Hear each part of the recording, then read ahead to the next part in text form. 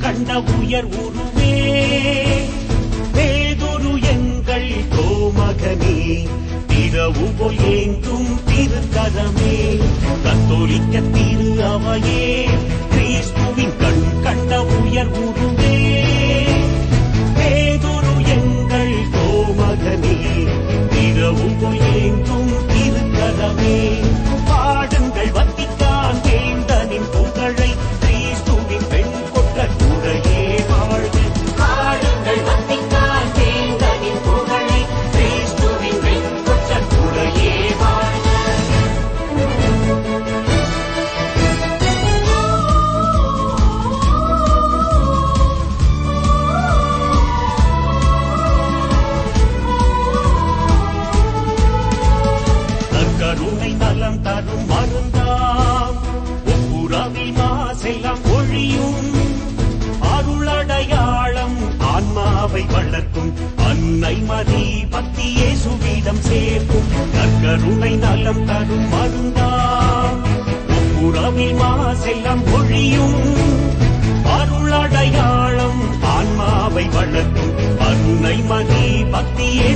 迎接。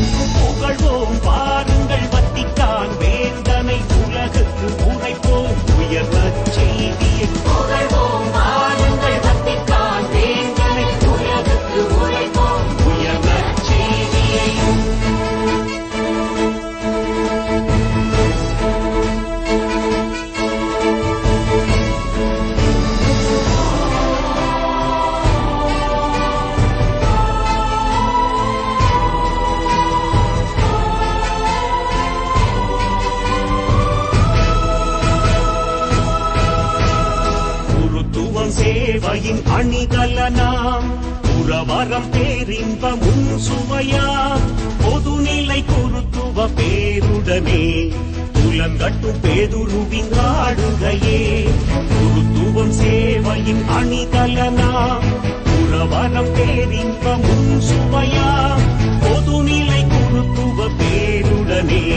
புலங்கட்டு பேதுருவின் ஆடுகையே புகழ்வோம் பாருங்கள் ரோமையின் ஆயனை உலகுக்கு உரைப்போம் உயர்ந்த செய்தியை. புகழ்வோம் பாருங்கள் ரோமையின் ஆயனை உலகுக்கு உரைப்போம் உயர்ந்த செய்தியை. மாதா தொலைக்காட்சியின் அன்பு நேயர்களே உங்கள் அனைவருக்கும் எனது இனிய வணக்கம். திரு அவை சட்ட தொகுப்பு பற்றிய தெளிவான விளக்கங்களை நாம் இந்த நிகழ்ச்சி வழியாக தெரிந்து கொண்டு வருகிறோம்.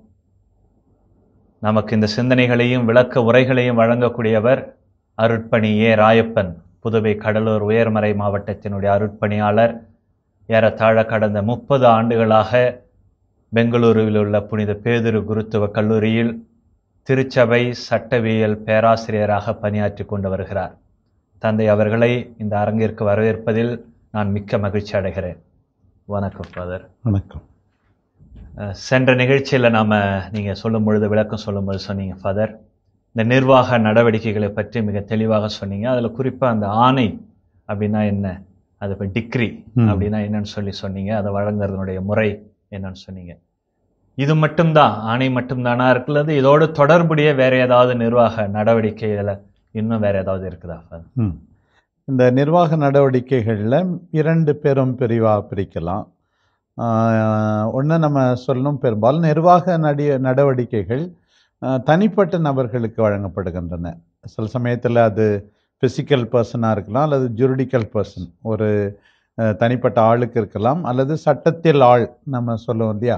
ஒரு பங்குக்கு அல்லது ஒரு மறை மாவட்டத்துக்கு அப்படியும் இருக்கலாம். ஆக தனிப்பட்டவர்களுக்கு கொடுக்கப்படுகிறது தான் இந்த நிர்வாக நடவடிக்கைகள். முதல் பங்கு இந்த டிக்ரின்னு சொல்கிற ஆணைகள். அங்கேருந்து ஆர்டர் வந்திருக்கு. அவங்க வந்து இப்படி லெட்டர் கொடுத்துருக்குறாங்க அப்படின்னு சொல்லி நம்ம சாதாரண மொழியில் வந்து நம்ம வந்து. சொல்லுவோம். இரண்டாவது பகுதி என்னன்னு கேட்டால் இந்த நிர்வாக நடவடிக்கைகளில் இன்னொரு பகுதி வந்து இந்த அதிகாரமுள்ள தலைவர்கள் அவர்கள் வழங்குகின்ற தொடர்புடைய இந்த மேல்நிலை சலுகைகள் என்று சொல்லுகிறோம்.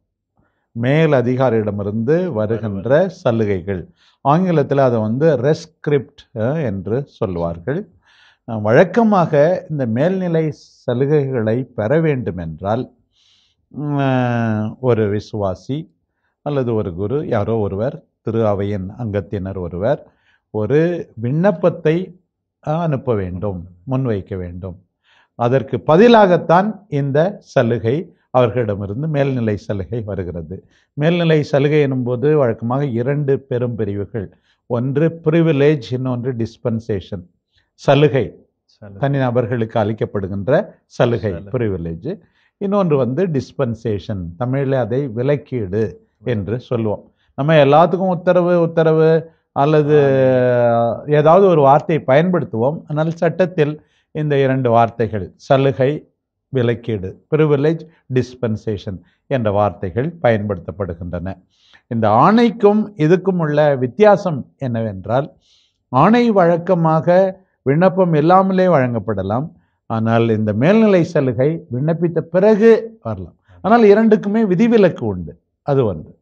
இன்னொன்று இந்த மேல்நிலை சலுகை அந்த வார்த்தையிலே அடங்கி இருக்கிறது. என்னவென்றால் அது சுமையானதாக வழக்கமாக இருக்காது.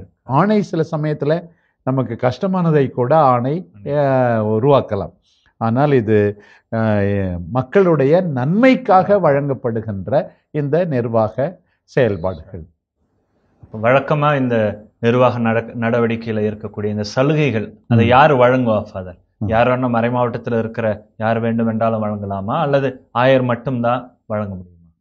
இதுலயும் நம்ம நிர்வாக நடவடிக்கைன்னு பொதுவாக நம்ம சொன்னாலும் கூட இந்த சலுகை ப்ரிவிலேஜ் அப்படின்றது வந்து யாரு கொடுக்கலான்னா யாருக்கு சட்டம் இயற்றும் அதிகாரம் இருக்கிறதோ அது ஒரு விதிவிலக்கு. இந்த பொது விதிகளுக்கே ஒரு விதிவிலக்கு என்னென்னா வழக்கமாக சட்டத்தை அமல்படுத்துகிற அதாவது எக்ஸிக்யூட்டிவ் பவர் இருக்கிற அவர்களுக்கு இந்த நிர்வாக நடவடிக்கைகளை மேற்கொள்வார்கள். இந்த ப்ரிவிலேஜ் மட்டும் இதை என்ன சொல்வார்கள்? பிரைவேட் ஃபேவரபிள் லா என்று சொல்வார்கள். அதாவது தனி மனிதர்களுக்கு சாதகமாக இருக்கிற சட்டம் இந்த ப்ரிவிலேஜை இந்த சலுகையை வந்து உனக்காக இந்த சட்டம் அப்படின்னு சொல்லி ப்ரைவேட் ஃபேவரபிள் லா என்று சொல்லும் அதனால் வந்து வழங்கும் அதிகாரி இந்த சலுகையை வழங்கும் அதிகாரி சட்டம் இயற்றுகிற அதிகாரி தான். இப்போ சட்டம் இயற்றுகிற அதிகாரி திரு அவையில் யாருன்னு கேட்டால் திருத்தந்தை. இரண்டாவது மறைமாவட்ட ஆயர் மறைமாவட்டத்தில். இவர்கள்தான் சட்டம் இயற்றுகின்ற அதிகாரி. அதனால் சட்டம் இயற்றும் அதிகாரம் உள்ளவர்கள் தான் இந்த சலுகையை இந்த ப்ரிவிலேஜ் என்று சொல்லுகிற சலுகையை வழங்க முடியும். இந்த ப்ரிவிலேஜாக இருந்தாலும் சரி அல்லது டிஸ்பென்சன் விலைக்கீடுனாலும் சரி இது ரெண்டுமே வந்து ஏற்கனவே இருக்கிற சட்டத்துக்கு கொஞ்சம் எதிராக இருக்கிறது. லத்தீன் மொழியிலே உல்னோஸ் லேஜிஸ் என்று சொல்வார்கள். சட்டத்தை காயப்படுத்துகிறது. அதனால் இந்த சட்டத்தை எல்லாம் மாற்றி அமைக்கும் போது என்ன எல்லாரும் சட்டத்தை பின்பற்றணுமா? இவனுக்கு மட்டும் ஒரு பெரிய ப்ரிவிலேஜ் சலுகை.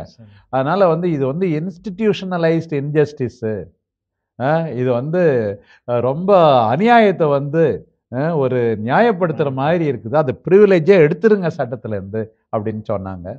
ஆனால் இருந்தாலும் திருச்சபை ஆன்மீக நன்மையை விரும்புகிறது மக்களுடைய மீட்பை விரும்புகிறது. அதற்காக சில சூழ்நிலைகளில் சில நபர்களுக்கு சில சலுகைகளை கொடுப்பது தேவையாயிருக்கிறது என்று சொல்லி அது இன்னும் இந்த சட்டத்தில் இருக்கத்தான் செய்கிறது.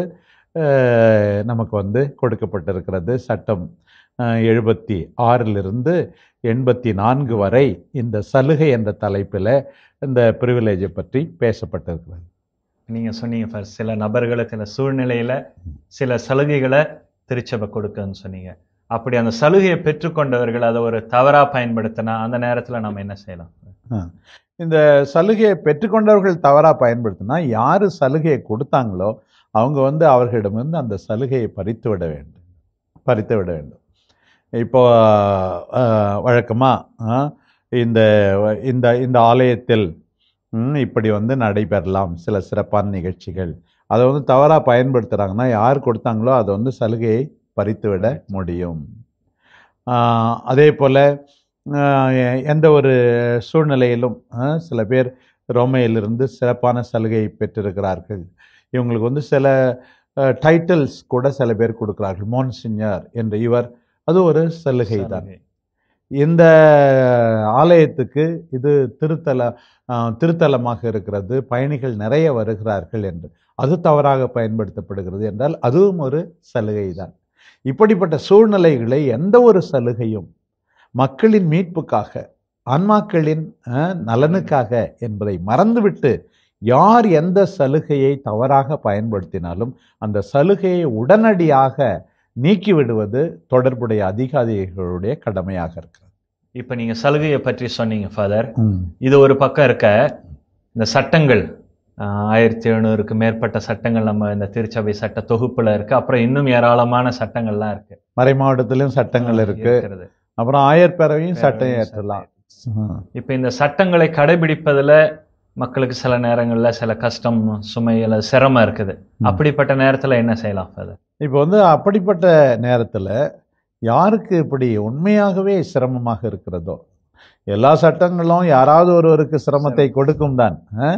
அதனால உண்மையாகவே சிரமமாக இருக்கிறதோ அவர்கள் தொடர்புடைய அதிகாரிகளை முக்கியமாக தோஸ் have எக்ஸிக்யூட்டிவ் பவர் அவர்களே விலக்கு கொடுக்கும்படியாக அணுகலாம் அப்படின்னு இருக்குது. இப்போ அதுக்கு தான் வந்து நம்ம திருச்சபை சட்டத்தில் முக்கியமாக ஒரு சட்டம் வந்து சட்டம் எண்பத்தைந்து. வாட் இஸ் எ டிஸ்பென்சேஷன் என்று சொல்லுகிறது. அது அன்றாட வாழ்க்கையில் நிறைய பேருக்கு கஷ்டப்படுகிறார்கள். அதுவும் நான் சொன்னது மாதிரி இது தனிப்பட்ட நபர்களை பொறுத்த மட்டில் அவர்கள் அனுசரிக்கவில்லை என்றால் எல்லாருக்கும் பொதுவான அந்த சட்டத்தை காயப்படுத்துவது போல தான் ஒல்னோஸ்லேஜஸ் இன்ஜரிங் த லா தான். இவருக்கு மட்டும் சட்டம். என்ன? இல்லாம போறது அப்படின்ற நிலைமை ஏற்படுகிறது. இந்த சட்டம் எண்பத்தைந்த நீங்க வந்து வாசிங்க. அது டிஸ்பென்சேஷன் அதாவது விலக்கீடு அப்படின்னா என்ன? அப்படின்றத வந்து சட்டம் எண்பத்தைந்து குறிப்பிடுகிறது.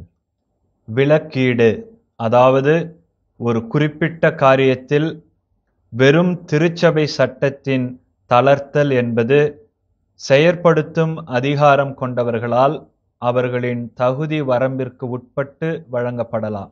ஆ பாருங்க. ஒரு குறிப்பிட்ட காரியத்தில் வெறும் திருச்சபையால் ஏற்படுத்தப்பட்ட சட்டம். அதிலே வந்து சொல்லியிருக்கு. இப்போ விலக்கீடு உனக்கு வந்து பத்து கட்டளையிலேருந்து விலக்கீடு கொடுக்க முடியுமா? எக்ஸெப்ஷன் கொடுக்க முடியுமான்னா கிடையாது. எந்த சூழ்நிலும் அது வந்து கடவுளுடைய சட்டம். திருச்சபையால் மட்டும் ஏற்படுத்தப்பட்ட சில ஒழுங்குமுறை முறை. சட்டங்கள் இருக்கின்றன. அந்த சட்டத்தை அனுசரிக்க கஷ்டமாக இருந்தால். எனக்கு பத்து கட்டளை கடைபிடிக்க கஷ்டமாக இருக்குது அதனால் எனக்கு விலக்கீடு கொடுங்கன்னு யாராவது கேட்டால் கொடுக்க முடியாது. அதான் மியர்லி எக்லெசியாஸ்டிக்கல் லாஸ் என்று ஆங்கிலத்தில் சொல்லுவோம். இறைவனுடைய சட்டத்துக்கு அப்பாற்பட்டு திருச்சபை மக்களுடைய ஒழுங்குமுறைக்காக ஏற்படுத்தப்பட்ட சட்டங்களிலிருந்து விடுதலை கொடுக்கலாம். எதுக்காக வந்து அந்த தனிப்பட்ட நபருக்கு தொடர்புடைய அதிகாரி நான் வந்து இந்த சட்டத்திலிருந்து சட்டத்தை அனுசரிப்பதிலிருந்து உனக்கு தற்காலிகமாக விடுதலை கொடுக்கிறேன் அப்படின்னு ஏன் சொல்கிறாருன்னா in certain situations observance of the law is more harmful to the spiritual welfare than non observance of த லா சில முக்கியமான சூழ்நிலைகளில் அந்த சட்டத்தின்படி வாழ்வது அல்லது சட்டத்தை பின்பற்றுவது ஆன்மாக்களின் நலனுக்கு அதிக ஊறு விளைவிக்கலாம். அதை ஆராய்ந்து பார்த்துவிட்டு தொடர்புடைய அதிகாரி உங்களுக்கு இந்த சட்டத்திலிருந்து விலக்கு அளிக்கிறேன். அதைத்தான் நம்ம அடிக்கடி நம்ம வழக்கமான சொல்லுவோம் உத்தரவு உத்தரவுன்னு சொல்லுவோம். உத்தரவுன் போது பர்மிஷன் அது சட்டத்துக்கு ஏற்ப கொடுக்கப்படுவது. இது சட்டத்திலிருந்து விடுதலை வழங்குவது. அதனால இதை வந்து விலக்கீடு என்று. சொல்லுவோம் இதை பார்க்கும்போது யார் கொடுக்கலாம்? சட்டத்தை செயல்படுத்தும் அதிகாரம் உள்ளவர் அதாவது எக்ஸிக்யூட்டிவ் பவர் உள்ளவங்களே கொடுக்கலாம்.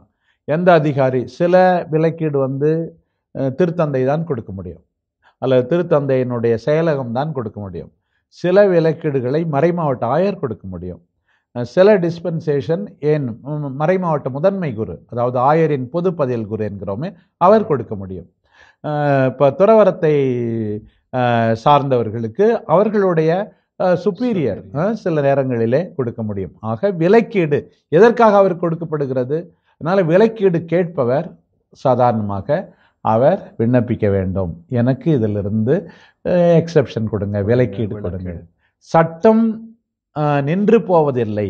ஆனால் சட்டத்தை அனுபவிப்பதிலிருந்து தற்காலிகமாக அவருக்கு விலக்கு கொடுக்கப்படுகிறது. Is not abrogation of the law but it is uh, relaxation of the obligation of the law in a particular case.